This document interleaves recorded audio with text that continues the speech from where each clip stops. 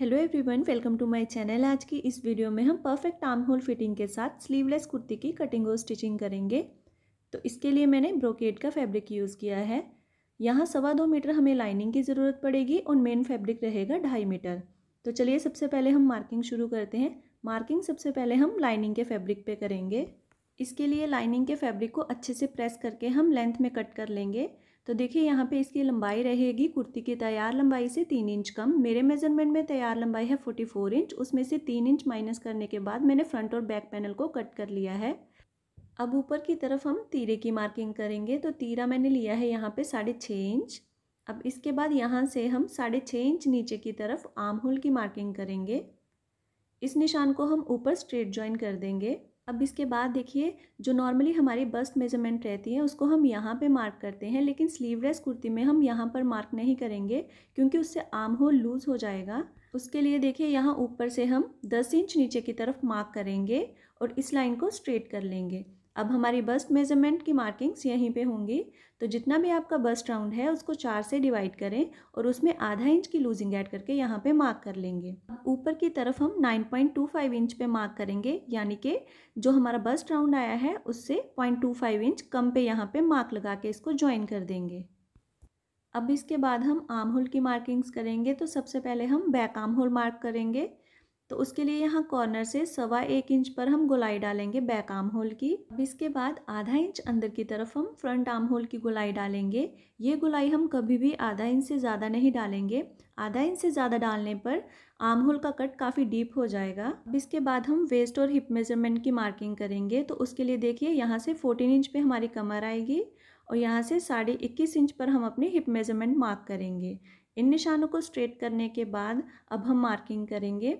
तो यहाँ पे जितनी भी आपका कमर का राउंड है, उसको चार से डिवाइड करने के बाद आधा इंच की लूजिंग ऐड करके यहाँ पे मार्क कर लें। अब इसके बाद हिप की मार्किंग के लिए जितना भी आपका हिप राउंड है, उसको चार से डिवाइड करें और उसमें आधा इंच की लूजिंग ऐड करके यहाँ पे मार्क कर लें। अब इन निशानों को हम मिला देंगे और देखिए यहाँ पे ये कोना नहीं निकलना चाहिए, यहाँ से हम हल्की सी गोलाई में ही स्टिच करेंगे। अब इसके बाद देखिए इसके जो चाक हैं वो स्ट्रेट रखे हैं मैंने। उसके लिए देखिए यहाँ पे जितनी भी आपकी हिप मेज़रमेंट है, देखिए यहाँ पे ये नाइन पॉइंट फाइव इंच पे आया है। सेम मार्किंग हम नीचे की तरफ़ करेंगे।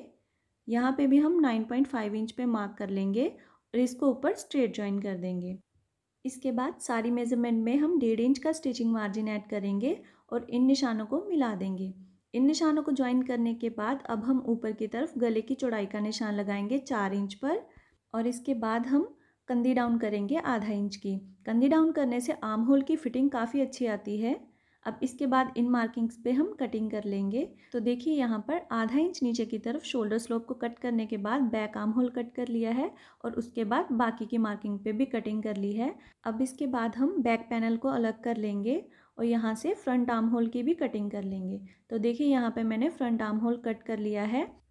अब इसके बाद इसे हम मेन फैब्रिक पे रखेंगे और उसे कट करेंगे।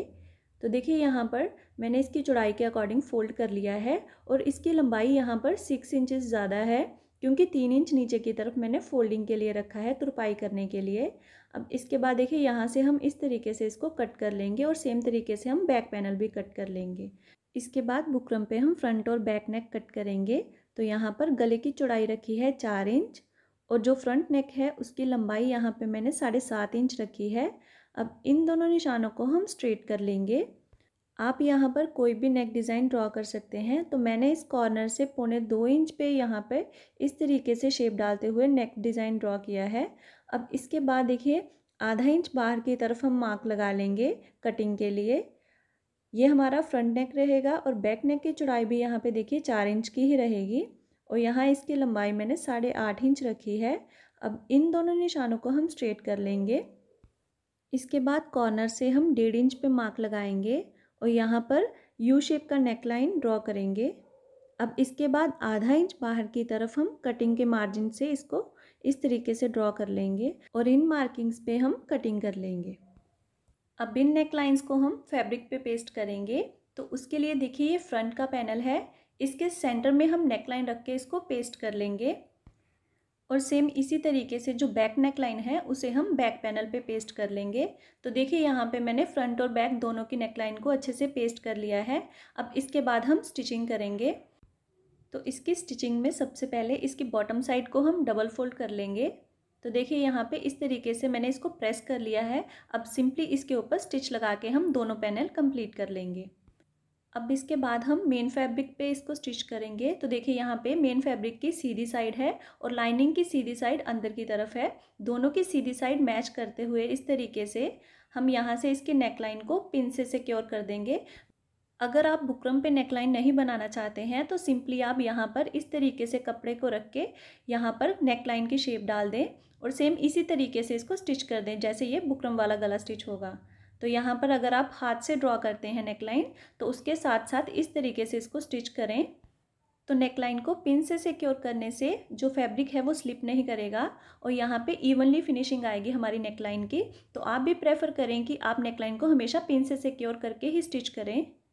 तो यहाँ पर नेकलाइन की शेप में ही हम इसको बिल्कुल स्टिच करेंगे, उसी से फिनिशिंग अच्छी आएगी। ये स्टिच हमारा बुकरम पे नहीं आना चाहिए। तो यहाँ पर इस तरीके से इसको कंप्लीट कर लेंगे और सेम इसी तरीके से हम जो बैक पैनल है, उसकी नेकलाइन भी कंप्लीट कर लेंगे। दोनों नेकलाइन को स्टिच करने के बाद अब देखिए एक पैर के मार्जिन से हम इसको इस तरीके से कट कर लेंगे। अगर आप बैक नेकलाइन में डोरी अटैच करना चाहते हैं तो नेकलाइन की स्टिचिंग के टाइम पे ही उसे यहाँ पर स्टिच कर लें। नेकलाइन का एक्स्ट्रा फैब्रिक कट करने के बाद यहाँ पर हम हल्के हल्के कट्स लगा देंगे और इसके बाद हम आम होल की फिनिशिंग करेंगे। तो उसके लिए देखिए यहाँ पे मैंने आधा इंच के मार्जिन से मार्किंग कर दी है। अब यहाँ पे हम इसको स्टिच करेंगे। आप भी ज़रूर से ये मार्क लगाएँ ताकि जो हमारे शोल्डर हैं, वो दोनों इवनली अटैच हों, उसमें चुनटे ना आएँ। तो यहाँ पर इस तरीके से हम इसको स्टिच कर लेंगे और सेम इसी तरीके से जो फ्रंट पैनल है, उसके आर्म होल भी स्टिच कर लेंगे। आर्म होल स्टिच करने के बाद देखिए यहाँ पे मैंने हल्के हल्के कट्स लगा दिए हैं ताकि ये फिनिशिंग के साथ सीधी तरफ़ पलट जाए। अब इसके बाद देखिए, जो फ्रंट पैनल है, उसको हम सीधी तरफ़ पलट लेंगे। यहाँ देखिए, मैंने इसको सीधी तरफ़ पलट लिया है। तो वीडियो में देखिए, यहाँ डोरी अटैच करने वाला पार्ट में से स्किप हो गया था। आप प्रेफर करें कि जब नेक लाइन की स्टिचिंग करें, तभी इसको अटैच कर लें। उसके लिए डेढ़ इंच पे मार्किंग करेंगे हम टॉप साइड से, यहाँ पर। और जब आप नेक लाइन स्टिच करें, डोरी को अंदर की तरफ़ रख के इसको स्टिच कर लें। मैंने यहाँ पे बाद में डेढ़ इंच नीचे की तरफ़ हल्की सी सिलाई निकाल दी थी और डोरी को इस तरीके से इंसर्ट करेंगे लाइनिंग के फैब्रिक को उठाएँगे। डोरी को अंदर की तरफ़ रख के हम जो डेढ़ इंच का मार्क है वहाँ से निकालेंगे। तो देखिए यहाँ पर डोरी के दोनों एंड्स बाहर निकालने के बाद मैंने स्टिच कर लिया है। अब इसके बाद हम शोल्डर ज्वाइन करेंगे। शोल्डर ज्वाइन करने के लिए जो बैक पार्ट है, उसको हम उल्टा ही रहने देंगे, लेकिन जो फ्रंट पैनल है, उसको हम सीधी तरफ़ टर्न करेंगे। अब देखिए जो दोनों के मेन फैब्रिक्स हैं, उनको इस तरीके से मैच करेंगे और फ्रंट पैनल के जो शोल्डर्स हैं, उसको इस तरीके से हम यहाँ से बाहर निकाल लेंगे। तो देखिए यहाँ पर दोनों शोल्डर्स को हम बाहर निकाल देंगे और इसके बाद हम इसे पिन से सिक्योर कर देंगे। इस तरीके से शोल्डर्स बहुत फिनिशिंग के साथ अटैच होते हैं और उसमें बिल्कुल भी रॉ एजेस दिखाई नहीं देते। तो देखिए यहाँ पे पिन से सिक्योर करने के बाद हम इसको स्टिच करेंगे। तो स्टिच करते टाइम दोनों के जो शोल्डर हैं उसमें चुनटे नहीं आनी चाहिए। अगर शोल्डर अटैच करने में आपको कोई भी डाउट हो तो प्लीज़ मुझे कमेंट सेक्शन में बताएँ। तो देखिए यहाँ पर आधा इंच के मार्जिन से मैंने दोनों शोल्डर अटैच कर लिए हैं। अब इसको हम सीधी तरफ़ पलट लेंगे।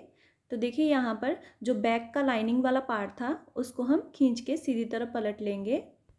आप भी प्रेफर करें जब आप अस्तर वाली स्लीवलेस कुर्ती की स्टिचिंग करें तो इसी तरीके से शोल्डर अटैच करें। इसके नेकलाइन और आर्म होल की फिनिशिंग के लिए हमें एक्स्ट्रा और पट्टी की ज़रूरत नहीं पड़ती। और यहाँ पे देखिए कितनी फिनिशिंग के साथ हमारे शोल्डर अटैच हुए हैं और डोरी भी अटैच हो चुकी है। इसके बाद आर्म होल और नेकलाइन पे हम टॉप स्टिच लगा देंगे। तो टॉप स्टिच लगाने के बाद लाइनिंग का सेंटर और मेन फैब्रिक का सेंटर हम मैच करेंगे और साइड से इसको स्टिच कर लेंगे। तो देखिए यहाँ पे मैंने इसके सेंटर को पिन से सिक्योर किया हुआ है। आप चाहें तो इसके सेंटर में बड़े टांके की सिलाई लगा सकते हैं, जिसको बाद में आपको निकालना पड़ेगा। इसी तरीके से जो बैक पैनल है, उसका लाइनिंग और मेन फैब्रिक हम स्टिच कर लेंगे एक साथ। तो यहाँ पे देखिए पूरे में मैंने एक पैर के मार्जिन से इसको बॉटम तक स्टिच कर लिया है। तो देखिए यहाँ पे मैंने फ्रंट और बैक पैनल में लाइनिंग अटैच कर ली है। अब इसके बाद जो फिटिंग की सिलाइयाँ हैं, वो हम लगाएँगे। तो मार्किंग्स पे मैंने देखिए यहाँ पर फिटिंग की सिलाइयाँ लगा दी हैं। अब इसके बाद जो एक्स्ट्रा मार्जिन छोड़ा था हमने बॉटम में तीन इंच का, उसको प्रेस की हेल्प से फोल्ड कर लेंगे और साइड के जो स्लिट्स हैं, उसको भी हम प्रेस की हेल्प से इस तरीके से फोल्ड कर लेंगे। तो देखिए यहाँ पर बॉटम साइड पे मैंने इसको तुरपाई कर ली है। अब जो इसके चाक हैं, उसको भी हम डबल फोल्ड करेंगे इस तरीके से।